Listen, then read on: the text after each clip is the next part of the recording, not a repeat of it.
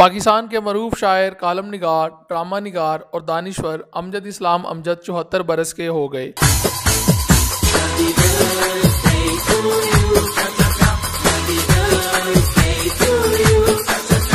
اس دن کو یادگار بنانے کے لیے لاہور رائٹرز کلب کے زیر اہتمام، ڈیفینس کے نجی ہوٹل میں معروف شاعر امجد اسلام امجد کی چوہترویں سالگرہ کی تقریب کا اہتمام کیا گیا، جس میں سرپرست اعلیٰ لاہور رائٹرز کلب شعیب بن عزیز، صدر قمر رضا شہزاد، نائب صدر محترمہ Farhat Parveen, general secretary Naz Butt, finance secretary Waseem Abad سمیت نامور شعراء کرام، ادیبوں اور مختلف شعبہ زندگی سے تعلق رکھنے والے افراد نے شرکت کی۔ نظامت کے فرائض ناز بٹ نے بخوبی سر انجام دیے۔ اس موقع پر حاضرین نے امجد اسلام امجد کو خراج تحسین پیش کرنے کے ساتھ ان کو مبارکباد دی اور ان کی زندگی کے لیے نئے خواہشات کا اظہار کیا۔ مسز امجد اسلام امجد نے اس موقع پر گفتگو کرتے ہوئے بتایا کہ شہرہ یا فاق نظر تمہیں مجھ سے محبت ان کی فرمائش پر امجد اسلام امجد نے خصوصی طور پر ان کے لیے لکھی۔ سالگرہ کا کیک کاٹنے کے بعد امجد اسلام اسلام امجد کو مہمانوں کی طرف سے تحائف اور پھولوں کے گلدستے پیش کیے گئے۔ اس موقع پر امجد اسلام امجد نے تمام مہمانوں سمیت لاہور رائٹرز کلب کا شکریہ ادا کیا کہ انہوں نے ان کے جنم دن کو ایک یادگار تقریب میں بدل کر ہمیشہ کے لیے محفوظ کر دیا۔ حاضرین کی خصوصی فرمائش پر امجد اسلام امجد نے اپنے شعرا یا فاق نظموں کے اشعار سنا کر